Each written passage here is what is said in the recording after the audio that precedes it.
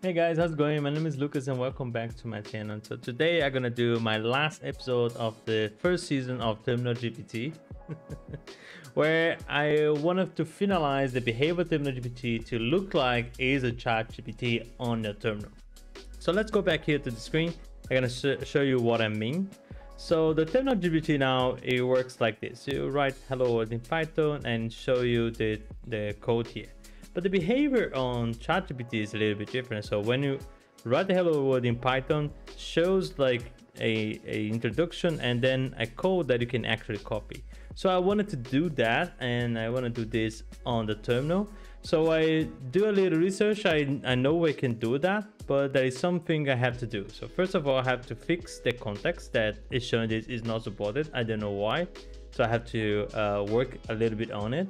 And then when I have some sort of like block quote or a block of code or something like that showing coming back from terminal from OpenAI, sorry, I want Terminal GPT to identify this block of code and wrap this into a uh, in a different background, and then allow to create a button where we can copy that code and be inserted anywhere. So the idea is when you wanted to actually see something like this. So for example, I wanted to, um, let's see, I wanted to refactor this guy here. I would like to do a refactor and then I can send the code. I'm gonna paste here, of course, yeah. And then Terminal GPT would be refactoring the code. Of course, here it's not perfect, but then you got the gist. You know, I wanted to do this in a way that we can uh, mimic the way that ChatGPT does on on the browser and wanted to do this on the terminal. It sounds correct? So yeah, so that's pretty much what I'm going to be doing today. So I will be coding right now and then I will be back to you with my findings and if I could accomplish that on this final, on the season now. okay, see you in a minute.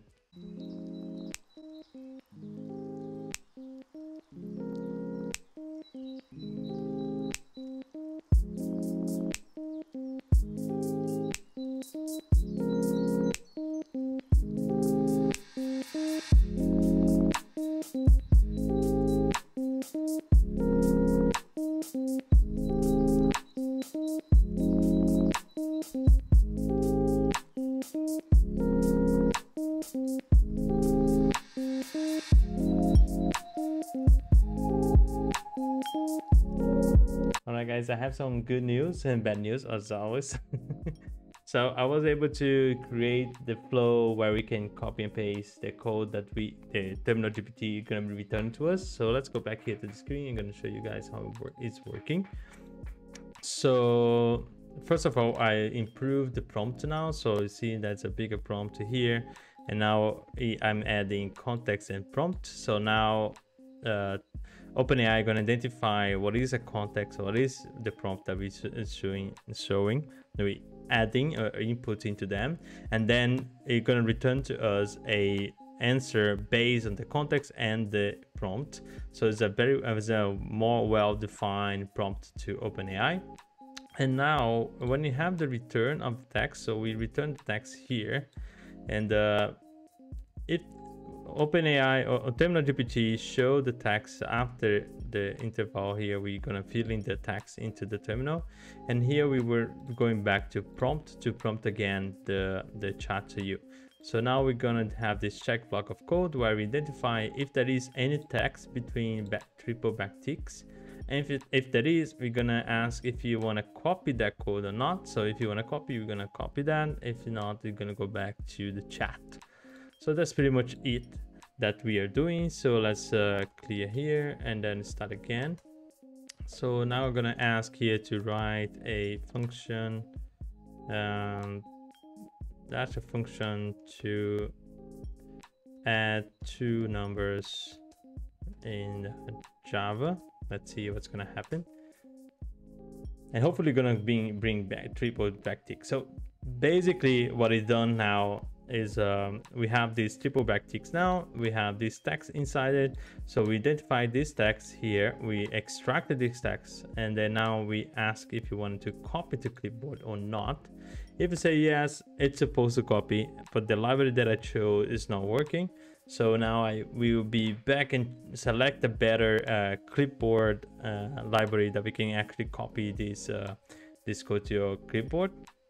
But the functionality is there and the way it is working is there. And uh, I will end up actually the context as well improved as well. So I'm gonna be putting the link on the description where you can go into um, Terminal GPT. I'm gonna put forward a pull request and you can have a look and review it by yourself. And then uh, I'm gonna be merging this soon, and it's gonna be the new version of Terminal GPT where we gonna be have a improved context. and we're gonna have the ability to copy text to clipboard, and it gonna is it has a base functionality as ChatGPT already have. And uh, I believe that's pretty much it for the season finale. and uh, I want to go back to all the proof of concepts I start doing, and I want to finish all the proof of concepts. So we're gonna leave Terminal GPT for a while now, and uh, maybe you're gonna be back uh, by the middle of the year. If you guys want more, uh, just leave the leave your comment down below what you like about Terminal GPT or what you don't like it, what you wanted to change it, and if you wanted to use, go to the link in the description of GitHub and you can use it as well. So guys, that's pretty much it. Tomorrow I'm gonna come back with a different POC. so I can't wait to finish off this one. And uh, it's been it's been fun. It's been fun. All right. Thank you very much. Thank you for thank you for watching, and I see you on the next one.